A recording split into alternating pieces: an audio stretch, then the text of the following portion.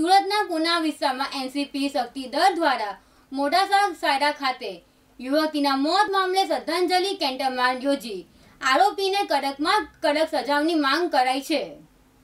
મોડાસા તાલુકાના સાયરા ગામે બનેલી દુઃખદ ઘટનામાં સમાજના આગેવાનો તથા તમામ જાગૃત સંગઠનોના આગેવાનોએ મોટી સંખ્યામાં ઉપસ્થિત રહી કાજલને ન્યાય અપાવવાની માંગણી કરતું આવેદન પત્ર તેમજ શ્રદ્ધાંજલિ આપી રહ્યા છે અને સમગ્ર ગુજરાતમાં આ ઘટનાના ઘેરા પ્રત્યાઘાતો પડ્યા છે અને સમગ્ર ગુજરાતમાં સમાજ માટે રોષ ફાટી નીકળ્યો છે અને વિવિધ સમાજના આગેવાનો દ્વારા આ કૃત્યને વખોડી નખાયું છે અને બલાત્કારી અને હત્યારાઓને જલ્દીથી જલ્દી પકડીને તેમને ફાંસીની સજા થાય તેવું સભ્ય સમાજના લોકોની લાગણી અને માંગણી છે. ત્યારે સુરત ખાતે એનસીસી શક્તિદળ દ્વારા શકતા સોસાયટીમાં શ્રદ્ધાંજલિ કાર્યક્રમ એનસીપી શક્તિદળના મહિલા પ્રમુખ પાયલ પાટીદાર સહિત મોટી સંખ્યામાં લોકો ઉપસ્થિત રહ્યા હતા અને ગુજરાતભરમાં અમદાવાદ, સુરત, બરોડા, રાજકોટ તથા ગુજરાતના તમામ જિલ્લાઓ અને તાલુકાઓમાં સમાજના લોકો રસ્તા પર ઉતરી આવ્યા છે અને આ ઘટનાનો વિરોધ કરી રહ્યા છે. આખા દેશમાં ઘટનાના ઘેરા પડઘા પડ્યા છે. ગુજરાતના દરેક જિલ્લાના કલેક્ટરને આવેદનપત્ર આપવામાં આવી રહ્યા છે.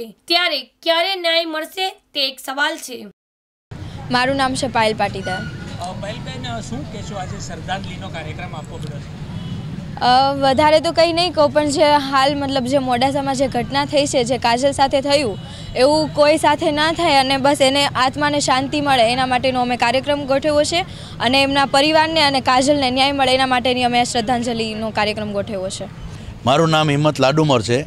એનસીપીમાં ઉપપ્રમુખ સુરત શહેર. અમે જે આ કાર્યક્રમ આજે કર્યો છે કે મોડાસામાં બનેલી ઘટના, આજે રોજબોજ આવી ઘટનાઓ બનતી રહી છે.